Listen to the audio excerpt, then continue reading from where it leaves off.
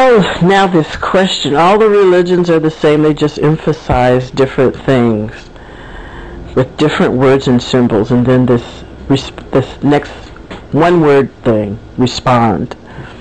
No religions aren't the same.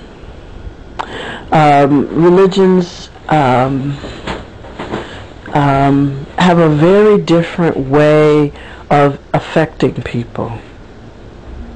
For instance, um, even if we just stay within Christianity, which is an, as diverse in and of itself, and even if we stayed in just one denomination within Christianity, I'll use my own American Baptist. What I experience in different churches that are American Baptists across geographic differences, racial, ethnic, or cultural differences, income differences, what have you, is very, very different.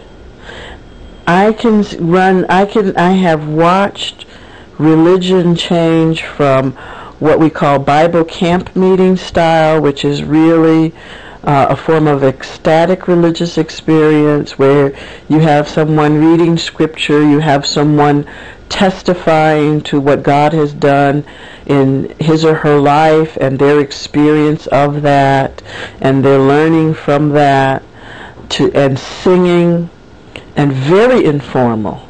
Nothing written down, nothing planned. It all goes on what people are experiencing, and the next experience affects the coming experience. To very what we call high church, where there's a printed bulletin and everything is printed out and nothing deviates from the printed bulletin and there is no ecstasy experienced like one finds in the Bible camp meeting. And those, and, and then there's all those things that fall in between in terms of the experience of religion within the American Baptist Church in the United States.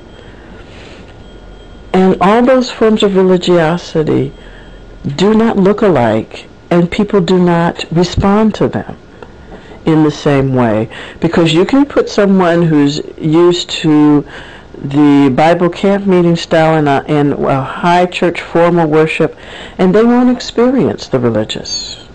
They'll think everyone is sort of closed off from God.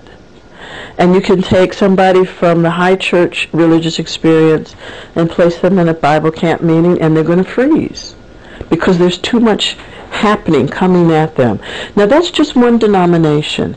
Now imagine all the other denominations within Protestantism and the different forms of Roman Catholic expressions of, of the religious, and, and that's just Christianity.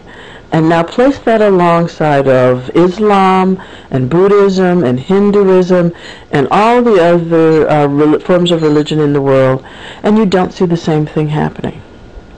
You don't have the same bodily responses, the same mental responses.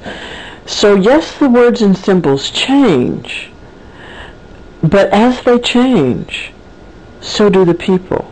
And so it's not just the same. Um, and, and often um, what we fail to remember when we talk about the religious is it's not intellectual a good part of, of religion and religiosity is the emotional, is the feeling level of what's going on. And that varies very much from person to person.